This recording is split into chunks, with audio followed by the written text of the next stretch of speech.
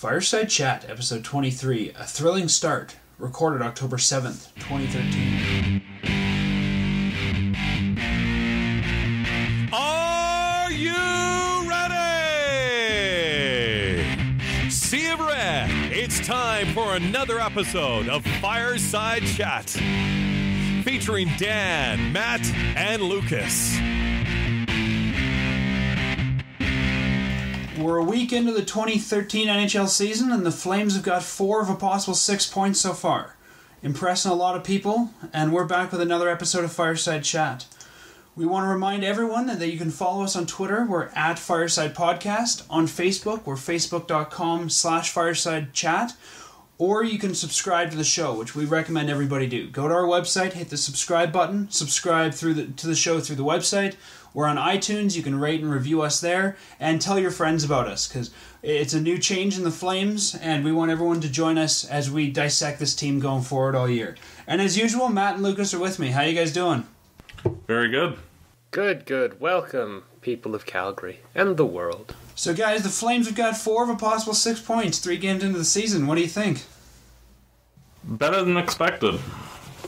Honestly, I wouldn't even say better than expected. I'd say if this was going to happen, it would it was going to happen off the top, where they're going to come out gangbusters, and uh, I think obviously at a certain point there's going to be a drop off, but it's uh, it's pretty good so far. So, Montreal Wednesday night, do you think they can keep up the momentum? Well, yeah, it's Montreal. They're a bunch of small players, so yeah, physically they'll just push them over. And then New Jersey on Friday? Who knows?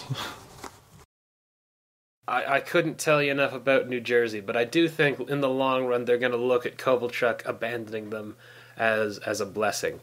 But I mean, I, I don't know. I the, the the the building should be fairly electric. I think the the devil may care sort of attitude they've got on the attack and the fact that they're all moving their feet, drawing penalties, uh, very few passengers. I think that's resonating with the fans. We're not watching the same bunch of country club veterans just sort of try and whatever. They're just there to cash a check. Uh, I, I think this this team already has uh, connected more with the fans than the last couple years worth of Flames efforts. Yeah, and with the, their efforts, like you can actually see on the ice that they're giving it their all.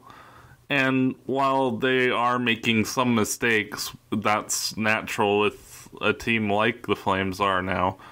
But giving such a good effort is instilling a very good set of habits moving forward, and especially like next year and the year beyond. You know, like if you're not giving a good concerted effort, you're gonna just be spinning your tires like a team up north. So, yeah, for sure, and like just giving good effort, not quitting. Like the way they tied up the game against Vancouver last night was terrific. And in many cases, I think last year, we wouldn't have seen a bunch of things that we saw last night. Like that shift where they kept the Canucks hemmed in after that power play for, you know, close to a minute. And, you know, unfortunately they didn't capitalize, but that was as dominant a shift of Flames hockey as I think you've seen in several calendar years. yeah, and one of the things that's been noteworthy is how uh, they're able to get the other teams off of their game because of how relentless their forecheck is. Yeah, just like ultimately, this is the this is the thing that I think the the last couple generations of this team forgot, which was uh, like hit them in the mouth, go right at them, take them out of their comfort zone. I, I get the feeling that a lot of teams were very very comfortable when they played the Calgary Flames, going back to probably 2009. Certainly, as soon as Phaneuf left, I think everyone got way comfier playing. Yeah, because like they were relying more so on their talent, which they did have, and like that's one of the common complaints of Flames fans is that they were always a very talented team on paper, but they always seem to disappoint on the ice.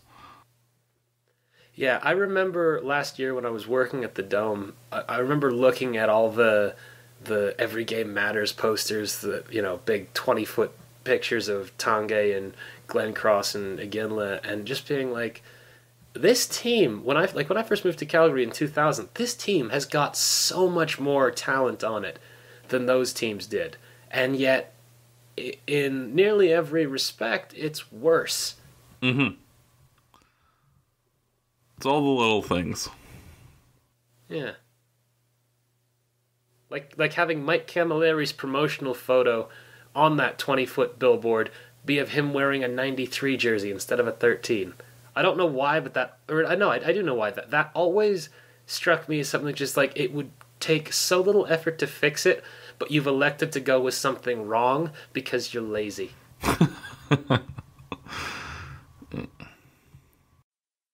Dan, what about you? you? You've been you've been quiet. What have you got to say? You know, I'm. It's early for us to be diagnosing this team. I mean, we're three games into the season. There's lots of games left, but I think the thing, the the thing that's interesting to me is, I guess, just the way that this team seems to have come together. It doesn't seem like what I've seen from the last teams, which seemed almost like a group of freelancers trying to um, each make their claim and show why they should be perhaps the elite guy or the number two center. This seems like a team that's everyone seems comfortable in their role. They know what their role is, and they're just working for the greater good. Which I it's been a while since we've seen a team like that here in Calgary. I would I would almost argue the opposite that I think that because everybody isn't settled, because I think everybody outside of a couple people on this team know they are very, very replaceable, that they are putting themselves in a position to succeed by doing, you know, something we're not used to seeing around here, like listening to the coach. Like you look at the way everyone's playing, yeah, they're they're buying in and they're listening. They're being taught. Yeah, and the one very good motivator is having Corbin Knight, Roman Horak, Ben Hanowski, Max Reinhart, John Ferland, and like several other guys that are on the farm ready to take jobs if you're not performing well. So, you know, that added pressure makes them more apt to listen to the coach and play the system the right way. Because their job's on the line, too. Oh, for sure. And I think that's definitely a motivator is that these guys know they can be replaced. But I think each one of the guys we're bringing up knows what their strengths are, knows what their weaknesses are, and knows what they have to do or what they have to try to do to keep a job on this team. I suppose so. And there's definitely less of guys being asked to do things they aren't capable of. Uh, there, there is, there definitely seems to be much more of a play within yourself, and I know some people hate that expression, but just recognizing almost shortcomings and not expecting certain players to be able to center number one lines, i.e., Como. Uh, just it, the the whole roster. The, the, I don't know. Maybe there's more of a, a clear vision. Well, and what you were saying earlier about everyone allowing themselves to be taught, I think there's a trust in this coaching staff too. So if you're a young guy or even a veteran and the coaches say, go out and do it this way or go out and do this, there's a trust that, okay, I'll trust you guys and I'll go do it that way because that's what we need or that's what you think is best for me. Yeah, and you know, as Matt said, we can't underscore the value of how many players are on the farm who played significant NHL minutes last year. To say nothing of you know, especially in the top six, you know, you, you have to think that they're well aware that you know, come March uh, John Gaudreau is probably going to be breathing down their necks as well. Like they, they are, the, the veterans on this team are really under siege in terms of being able to be complacent. Yeah, that's true. And even even the young guys can't be complacent. I mean, a guy like Lance Bouma, who started the year here, doesn't mean he's going to finish the year here. So he needs to quickly find his role in the team and quickly assert to this team why they should keep him in Calgary. I think he's already done that in a sense. I, I, I mean, I know he has to keep it up, but I mean, Bouma seems like one of those guys who, just based on his preseason, he's already got a goal early on. Uh, he he he seems like a guy who is very aware that his career was almost over with his knee injury, and he is again very aware that he needs to prove that he belongs. And to th- thus far, he's been very, very impressive. I- I've loved every shift I've seen from him. You know, it's funny you bring up the knee injury because I was just thinking about the injury situation today. If you think about the Flames for the last couple seasons, they've come close to the postseason a few times, and they've always been derailed by injuries. And I guess it's both a blessing and a curse, but the one year we're probably not going to make it close to the postseason, I feel like we finally have the depth that we would have needed in some of those other seasons. Got days where we can say, okay, you're hurt, sit it, don't make it worse. We'll call somebody up, and we're fairly capable they can do the job for a couple days. I do think that this team is capable of doing the sort of thing where, like, yeah, you, you know, if any, you know, I don't know, say Galiardi gets hurt, we call up Panowski, and I don't think we see a huge drop off. However, that high point is uh, obviously going to be, I think, a bit lower. Although maybe it's not. Maybe they surprise us all. We had some surprises last year with some of the guys they pulled up near the end of the season. Yeah, I, I mean more that the team will surprise us as as as like playing above above their heads and you know being in the postseason hunt you know past January, which which would be cool. I, I think they may be in that hunt. I don't think they will end up in the postseason. No, I I oh God no, I, I still think this is a team destined for the bottom three teams in the league just because I don't think they have the horses, but. I would hope they'd be able to stay competitive, and then okay, you run out of gas, but that's what happens. Is as the song goes, you gotta lo- you gotta lose to know how to win. So I mean, that's what this year's about.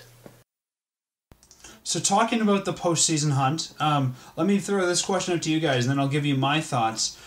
Based on what we talked about last week and seeing the team over the first couple games here, has your opinion changed of where you think the Flames will end up at the end of the season in the standings? Definitely not. Like it, their effort is really good, and it's encouraging to see that they're willing to follow the coaching staff's direction. But they just do not have the talent to get that next step, and you know, like it. it- The the hockey will be entertaining, and it you know it should be anyway if they keep this style up. But I just don't see them having enough raw talent on their team to compensate for the deficits that they have. Yeah, I, I'd agree 100% with Matt. My opinion hasn't changed. As I just said, I still think they're a bottom three team in the league.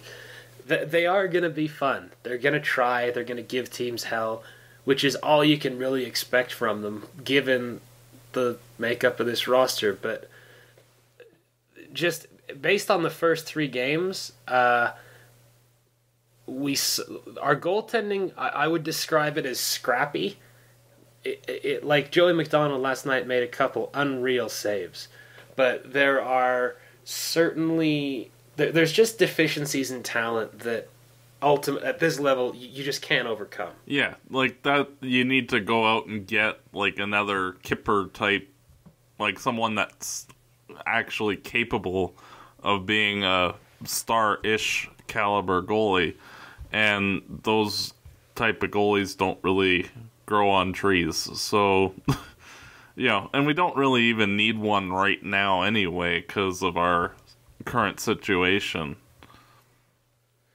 I, I see I understand that train of thought, but at the same time, um, basic like I, I feel like it's almost a disservice to neglect that as a as looking to upgrade that position. I mean, I know we all, at least I think we all, have a feeling that Gillies is the long term answer in net. However, it wouldn't hurt to have a sort of situation where, while we're waiting for our Gillies, our Jonathan Bernier, that we discover Jonathan Quick, whoever that may be.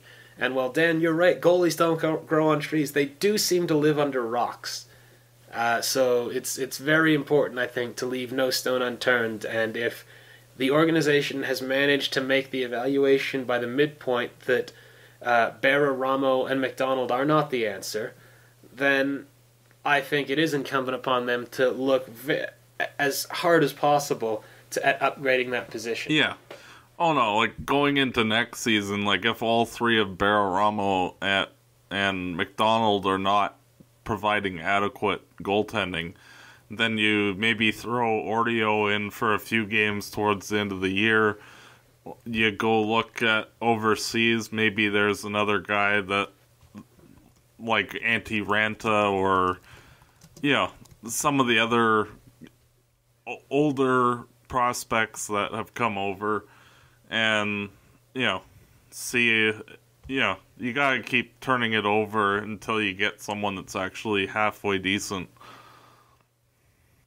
Oh yeah, for sure. It uh, to this point, the glaring issues with the goaltending thus far, and Matt, uh, maybe you'll agree with me.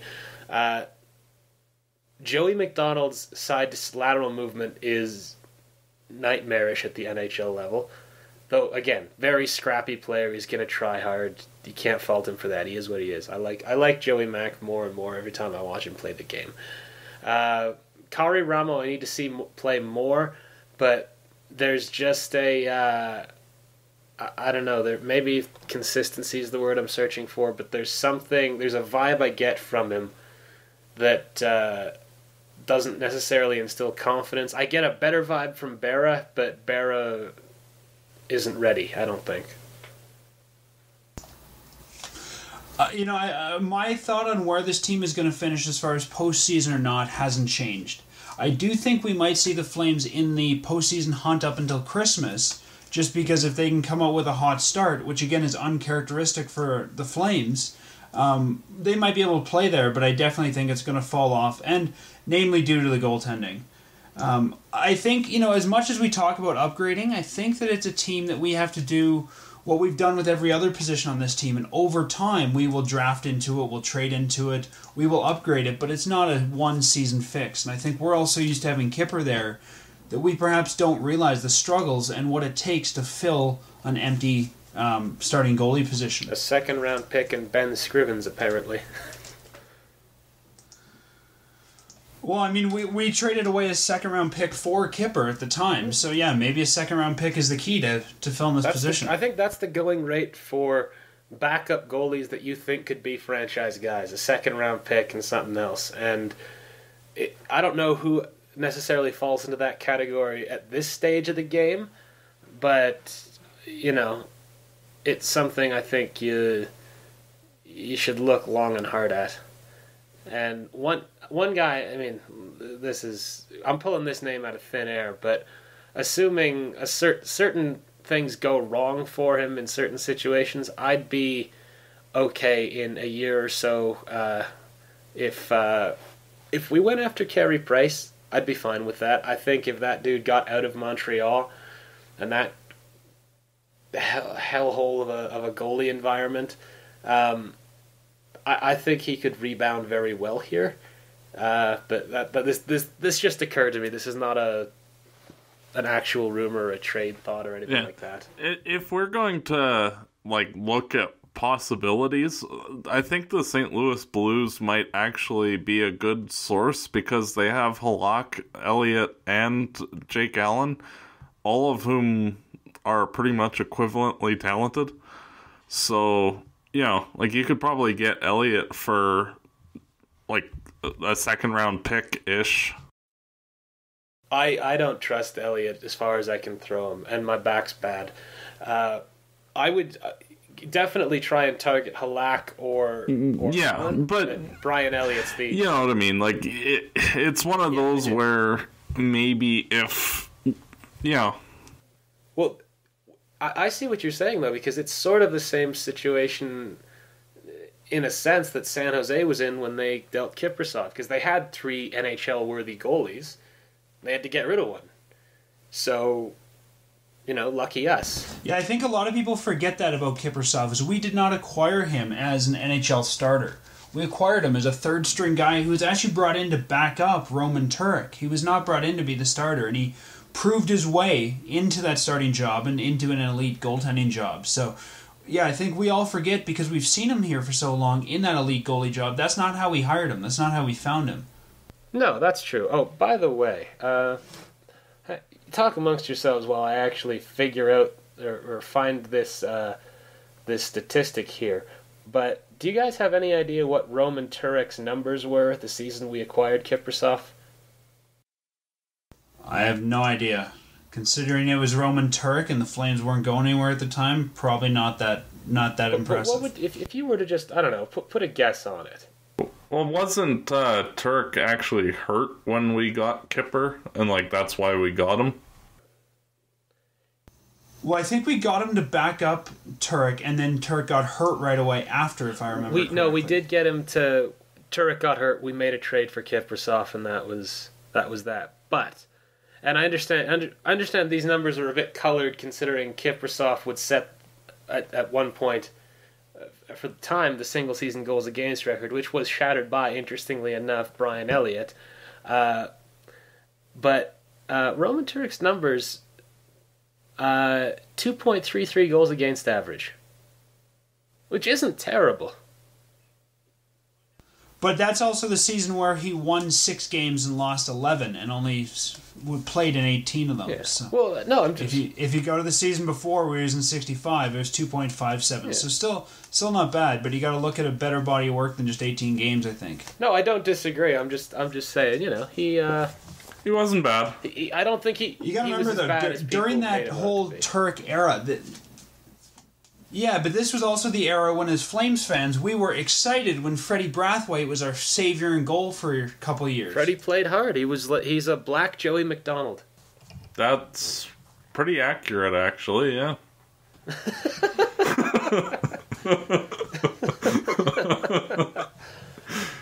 Well, he, he's a, he's a scrappy guy. He makes some nice saves, but ultimately he's very limited in what he can do. And you know, it's there's nothing wrong with that. He is what he is. Yeah, but I'm just saying that at the time, I mean, we had Ken Wregget, we had Roman Turek, we were going through all these kind of washed up goalies, and at the time, we didn't we didn't know Yeah. what a good goalie looked like. So when Tabaracci, Kay came Whitmore. You know. Yeah, exactly. Tabaracci. There was all sorts of them. So when when Kipper came around, I know I probably rolled my eyes at the time, thinking, "Oh, great! It's just another retread, somebody's you know third string goaltender." So we may have to go through that process again here with Ramo and getting them you know up to speed at the NHL level and that sort of thing. I'm not saying he's the next Kipper by any means, but I think we have to give him some time to see what he's got. Uh, for sure. Now, and I will say this: Kiprusoff, and admittedly, he came into a Daryl Sutter defensive system, but Kiprusoff, as soon as he came into the into the fold, literally game one, he was undeniable. Well, wait. And uh, that that's In that first game, Wasn't he didn't he like lose six five to Montreal.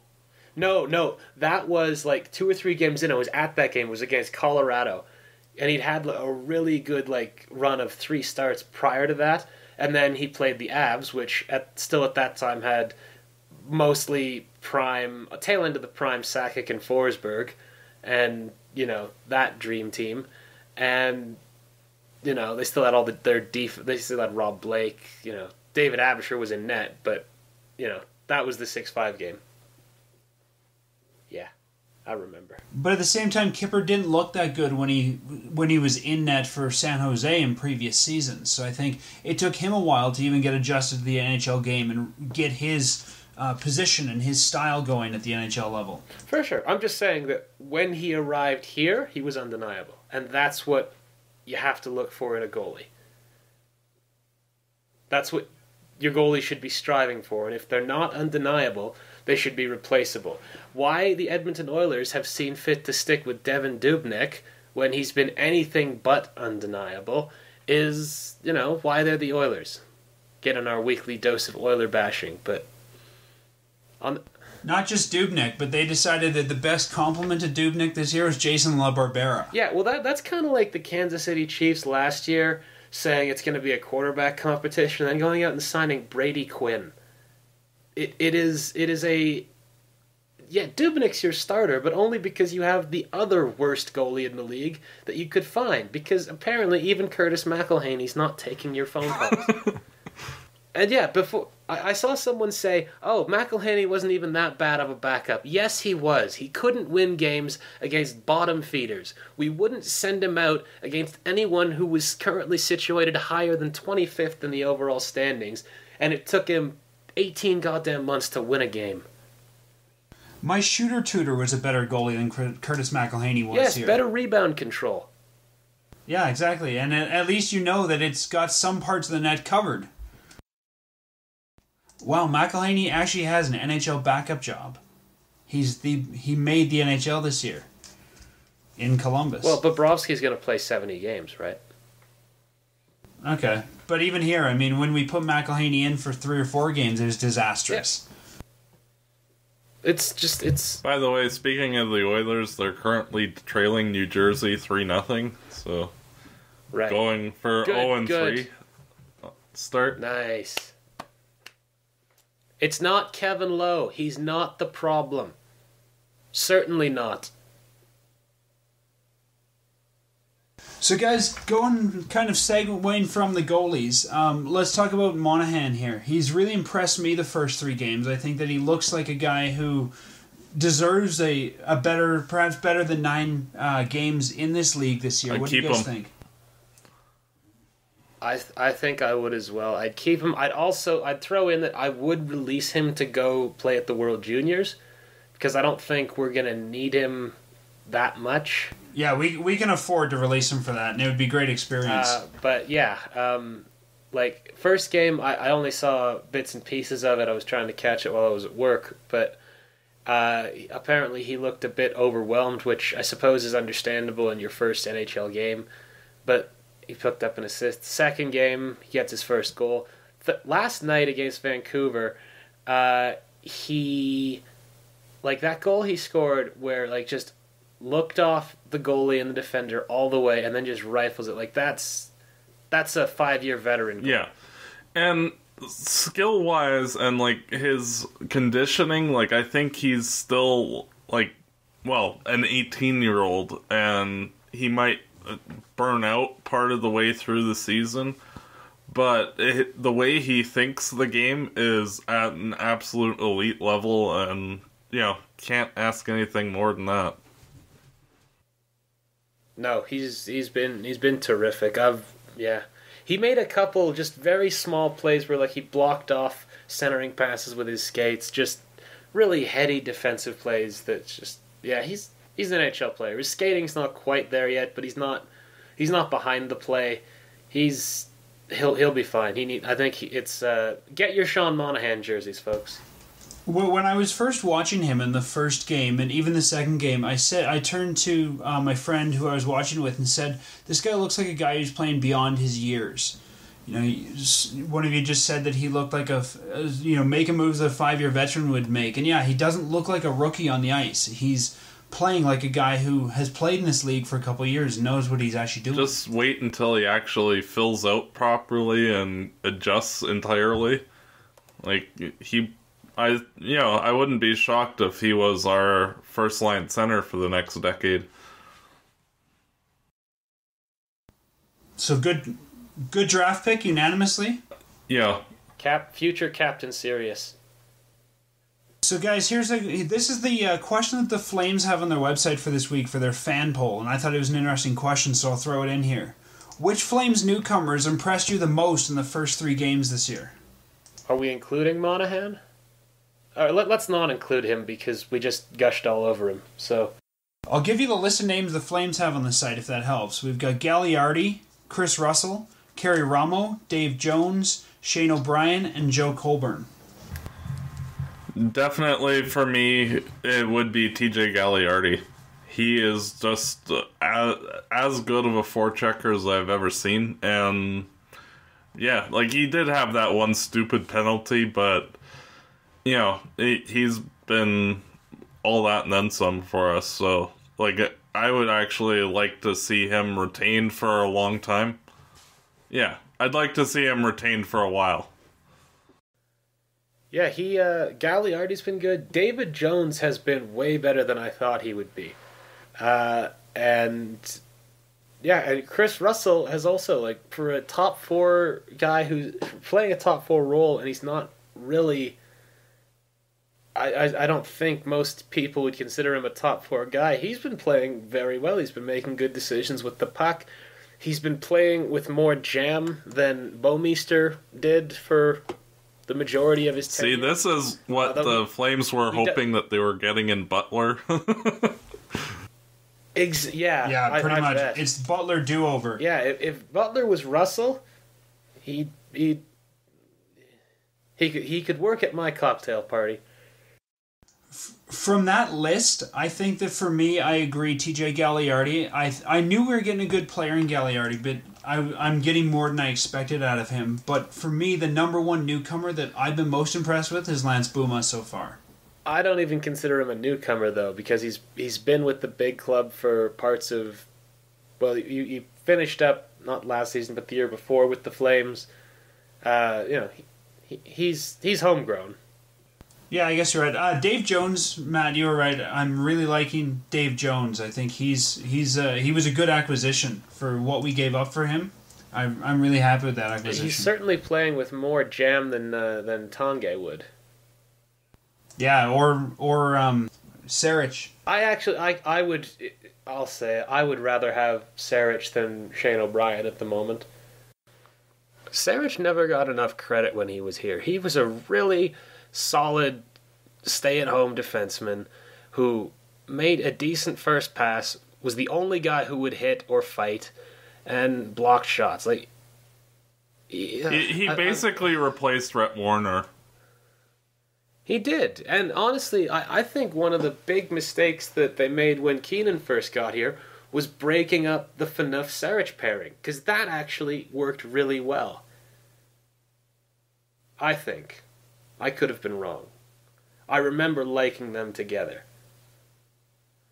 Yeah, Matt, when you said that he replaced Warrener, that's exactly what I was thinking. Is you know what he he had a lot of the traits when he was here that Rhett Warrener displayed, and I think people were used to Rhett Warrener in that role, and I would argue Rhett Warrener is perhaps better in that role. Oh, definitely.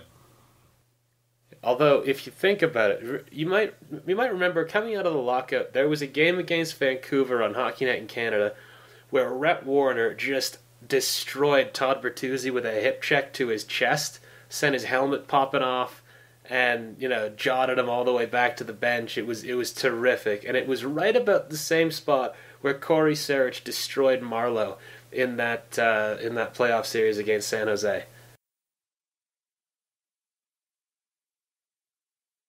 So, Luc, you had uh, mentioned before the show that you wanted to get um, you wanted to chat about fighting tonight. You got some stuff you want to get off your chest. I do. And first of all, I'll ask you guys this: uh, fighting in in the wake of the George Parros incident, which is about a hundred times more the result of a freak accident than it is because of fighting. Th- That that's you know. It is what it is. What should does fighting have a place in the game? We'll go Dan and then Matt. I've never been a big fan of fighting. I've always I've always said, you know what, we we need contact in the game. Contact can't be taken out, which it never will at the NHL level. But I personally don't think fighting needs a place in the game. It's a waste of a roster spot to hold on to an enforcer. It is. I mean, by all intents and purposes, it is against the rules. There's a five minute major for it. So yeah, I'm, I've never been a big fighting fan myself. I know a lot of people are, and I know that there's the stereotypical we need to keep it in the game for the Americans. But if I was in Bettman's position, I would definitely look at taking fighting out of the Um, game. Me personally, like I don't like the staged fighting where you have the one fighter fight the other fighter just to get the fight out of the way. But, you know, like I remember like in 04 when Iginla fought Lecavalier in the finals, like that was you know, like he was venting his frustration and you know, like getting rid of that, I'm not you know, like there's even fighting in baseball. Like, you know, it doesn't happen often, but it does have a place. No, but those kind of fights will still happen, but it just Yeah. might be a more severe penalty Like for those what guys. what I would do is make it so that like takedowns like Wilson uh, gave Bouma, uh, like I would actually have that be an additional five minute major and a game misconduct for attempt to injure, which would help to make fighting itself a little safer. I I don't know like it's really a tough question because you can't you know like each side You can't Yeah. outlaw one and not the other either. Well, but for, for sure, you could make. Y- y- there, there could be something in the rules to make fighting, like, give it, well, give it more rules, give it more structure, so it's not just a brawl. There is sort of more form to it. There's like, okay, that's an illegal. You know, that's an illegal move. Like, even the UFC and boxing, like, you can't rabbit punch someone. Like th- there's th- there's decorum, there's Queensberry rules and fighting fair and all that sort of stuff. And Matt, I understand what you're saying about you know you don't want the the enforcers just there to fight and then not play again. However, even those sort of fights can serve a role. I I I, re- I refer you back to a game. Uh, featuring the Minnesota Wild, wherein Derek Boogaard, uh, rest in peace, uh, basically ran around, and I believe the person he injured or came close to injuring was Chuck Kobasew. And the Flames didn't have an answer for him, and, you know, it was a big deal. And then the next time we played Minnesota, they'd called up Eric Godard. Eric Godard and Boogaard fought off the draw, and Godard lit him up. He put him on his ass, and it completely changed the, you know, changed momentum. That serves a role that there is a purpose to that sort of fight. Uh, another random example when you know there was a moment where Iginla and Jovanovski, when Jovanovski was playing in Phoenix, you know, squ- you know, Iginla drives Jovo back into the net. they cross check back and forth, and they're like, okay, let's let's do this.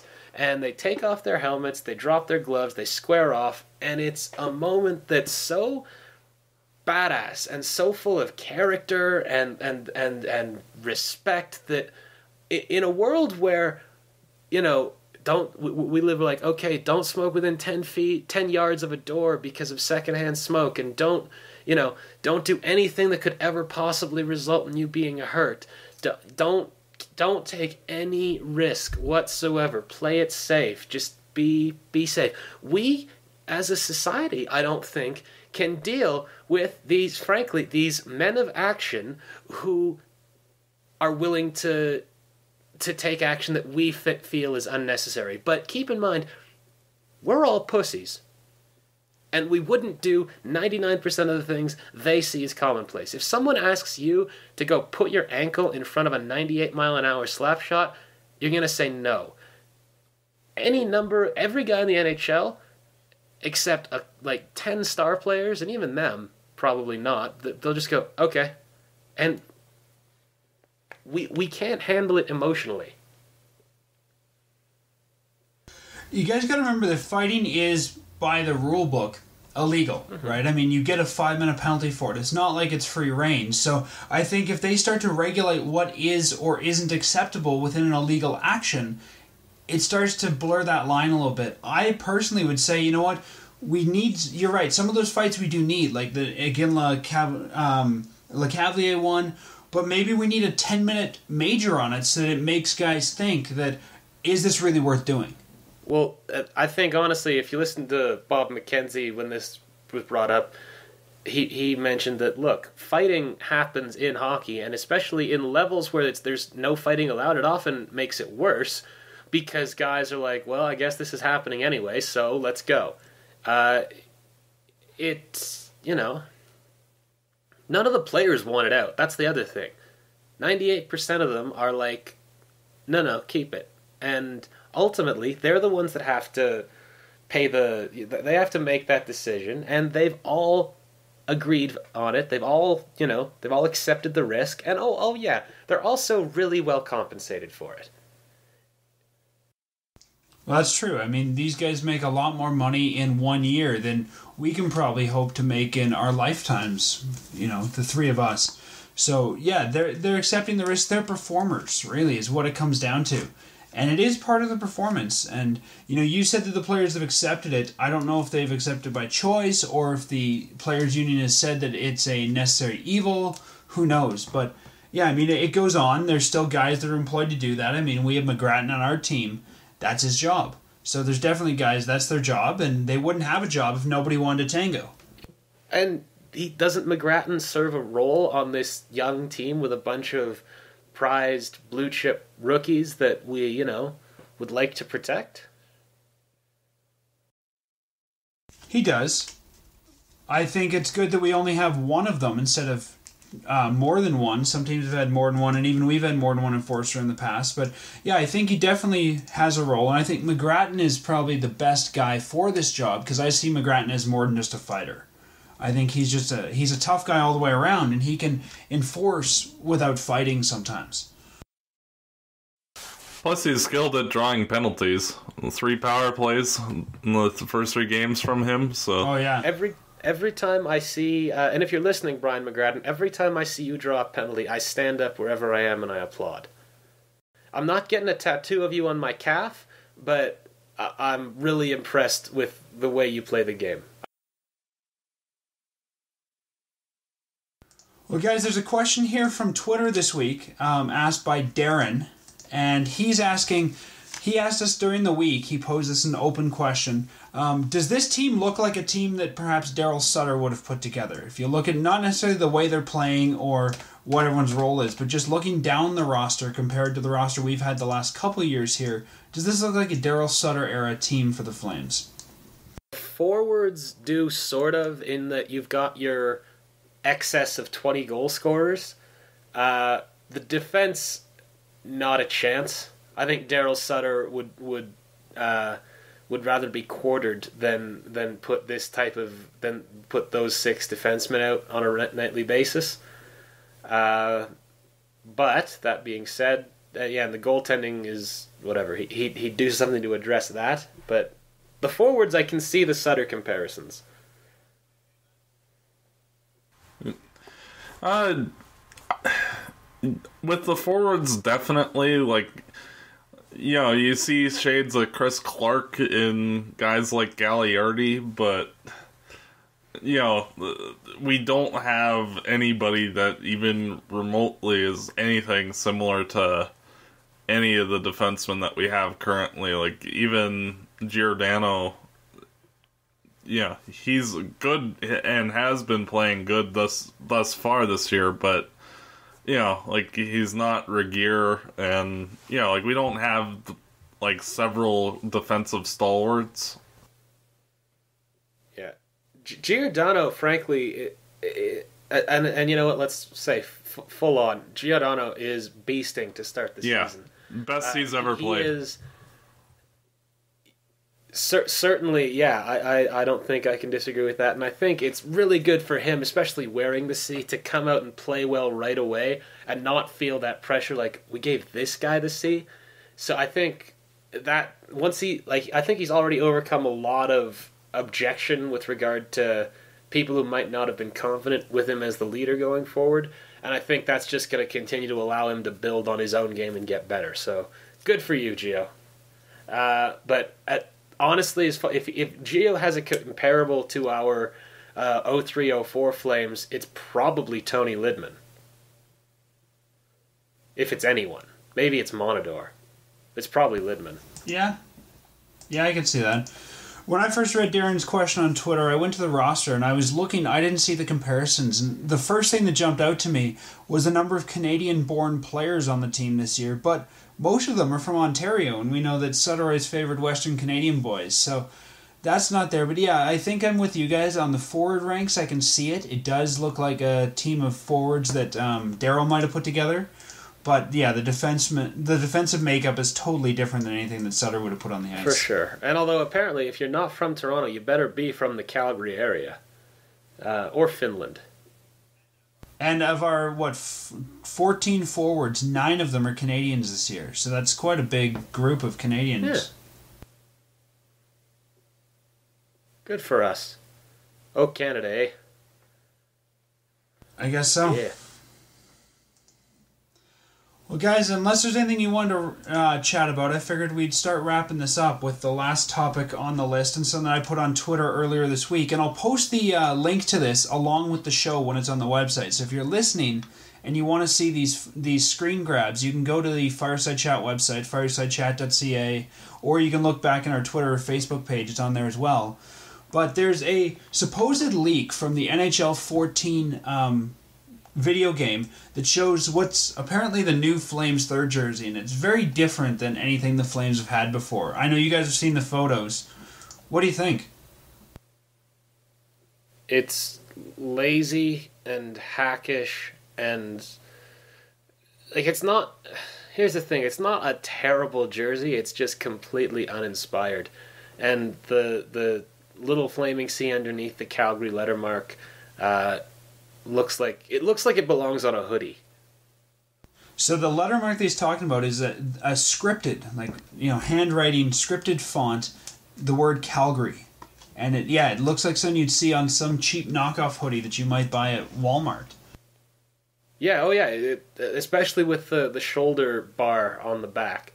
The shoulder patches look good. I'll give them that, but uh, The shoulder bar is just it doesn't even have it's not rounded or anything. It's just a piece of black fabric that looked like they ran out of red, so they stitched black in there. It's square, it's ugly. uh, but come on, man, you you don't want this, really? Well, with that jersey, there are elements that actually look good.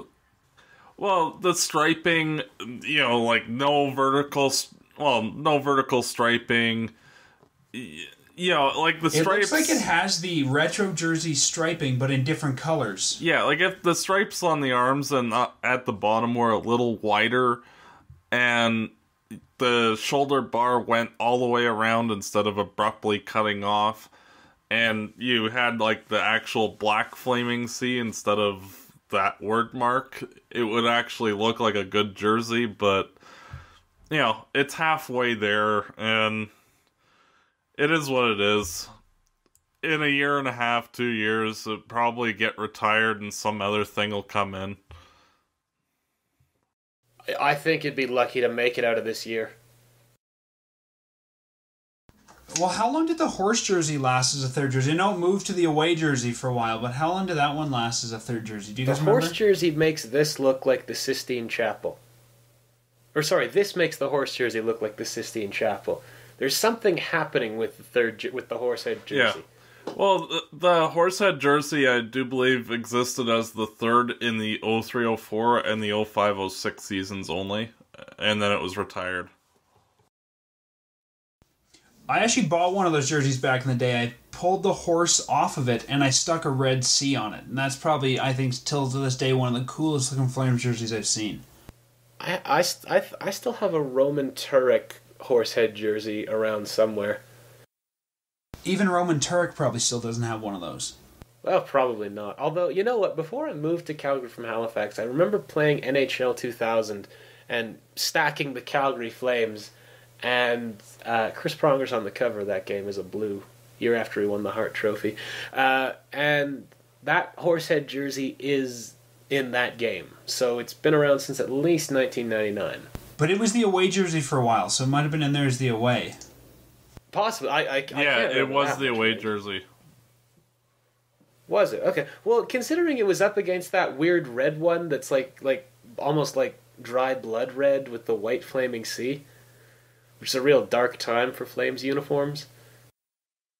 The other thing this article mentioned is that it says in September 2008, Ken King spilled to a reporter that their jerseys were in the works. So to me, if this is what we get after work since 2008, that's pretty sad. Well, the thing is, is that they probably this is probably the exact jersey that they were going to release back then.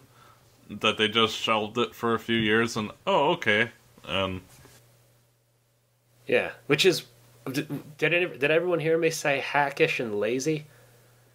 So you basically we, It almost it almost looks like we got the you know the apprentice for the guy who did the uh, Buffalo Sabres script. The. Buffalo jersey. Sabres jersey is actually not that bad. It works well with their color scheme, and I think this would work better. Although uh, I'd have to look up. Does the Buffalo Sabres one have that? Um, have the Sabres logo underneath the buff the the word mark? Uh, yes, it does. It says Buffalo, and then under that is the the Buffalo logo. Okay. Well, all right. Well, then maybe I'll give it a chance. Maybe it'll look better in yeah. person. Well, the jersey looks like New Jersey's regular home jersey, so it's not that far off. You know what? Actually, looking at this Buffalo jersey, it doesn't look bad. Um, so maybe this works. It it's, you know. Oh, wait and see. November third I- I is would've- the, when it's going to get released officially from what I've heard. So But you said last week it sucks, or you've heard it sucks. yeah, uh, Th- This doesn't exactly put those concerns to rest. No, it doesn't. But we will check back in in November once we see this thing on a real live person. And I'm hoping, I'm really hoping as a Flames fan, that this is not it. I'm hoping that this is a swerve or this is a fan jersey or something like that. But I'm really hoping this isn't what we end up I just with. hope it looks better in person. Because this will not be on my Christmas list if this is the jersey. No, it's probably fair. Well, guys, anything else you want to chat about? I would like to chat about where people can find us, Dan. Uh, the the website is firesidechat.ca. On Twitter, we are at Fireside Podcast. On Facebook, we are facebook.com slash fireside Or if you just search Fireside Chat in that search bar, because uh, let's be honest, you've probably all got Facebook bookmarked. And if you're not, what's wrong with you? You're missing out. 500 million friends. And we're also available for download through iTunes, and you can subscribe there. You can rate us, comment, uh, like us, and you can subscribe right through the website if you want to. We have an RSS feed on the website that's easy to subscribe to if you use a different device or if you just prefer to subscribe through another uh, podcatcher. And Lucas, if people want to find you specifically, where can they, They find can you? Can find me on Twitter at Luc1701. That's L U C 1701. Uh, I'm on Facebook, but I don't want to talk to you people there. But uh, we, we, I believe, are going to start live tweeting during games. So uh, look for us on both uh, my Twitter and uh, at Fireside Podcast on Twitter. So, uh, you know, talk to us, talk some shit. Tell us we suck. Tell us we're good. If you're gonna give us a review on iTunes, click five stars. Why? Because it costs you nothing. Like this podcast. If you go to Facebook or Twitter and you uh, find us there, you'll see our brand new logo for this season is our avatar. So you can give us feedback on our logo. We'd love to know what everybody It's thinks. better than the New Jersey. That's true. I didn't use the same people that did the jersey to get our logo done. Oh my god, how great would it be if the Flames actually designed this by sending it off to a bunch of people in a sweatshop in China? Maybe that's what happened. That, Maybe they took, you know, the pieces they liked from nine different jersey comps. I, this, the jersey does feel a bit like it was made by like an old woman who works on the Stampede board and walks around with one of those hats, looking for looking for mischief. It, it looks to me like something you'd get from some Calgary Sun competition of, hey, nine year olds, draw your favorite Flames jersey and submit Yeah, it to us. this is gonna be great. Well, maybe. Matt, where can uh, find I'm on Twitter at at Caged Great, which is my CP handle. So Hell yeah, it is. And after last week, Matt's been talking a lot of hockey, and he's doubled his Twitter followers. We want to keep, keep yeah, doubling. and He's I, got during each now? road game, I'll be tweeting throughout the game. And during each home game, he'll be there drinking. Yeah, pretty much. You could tweet from the game. I I suppose you don't. Why would you want? well, I don't usually bring my phone with me, so but that's neither here nor ah. there. Fair enough. Fair enough. You're there. You're there for. You're there to work. pretty much. Work at All right. drinking beer. Yeah. We'll call it work. Drinking beer Sounds is good. work. Hell yeah. Yeah, Matt's got eight Twitter followers after last week in one week, so let's see if we can get him another eight in the next week. So if you're uh, wanting to talk hockey during the games, you can always chat with Matt on Twitter. He's uh, he's on there. He'll be chatting with you. He's going to be tweeting during all the away games. Yeah. Let's get his followers up from Joe Colborne to Brian McGrattan. There we go. Let's see if we can do it. Bigger and please follow him. I don't personally tend to tweet a lot about hockey. I t- tweet more um, about my day job, which is in the technology sphere. But I'm on Twitter at DG Stevenson. And if you need any of our Twitter handles or links, they're actually all on our website at firesidechat.ca. They're in the sidebar. You can find us there. Um, but yeah, you can follow me. I do post my flame stuff once in a while, but I'm not nearly as active in the hockey space as these two. That's why I keep them on board. Yeah, that's right. All right. So shall we wrap it up? I think so, gentlemen. Enjoy this week. We got two games coming up. We got the Canadiens and we got the Devils, and let's see if we can keep getting points every game that we play for the next little bit. yep. Have a good one. Suck it, Tom.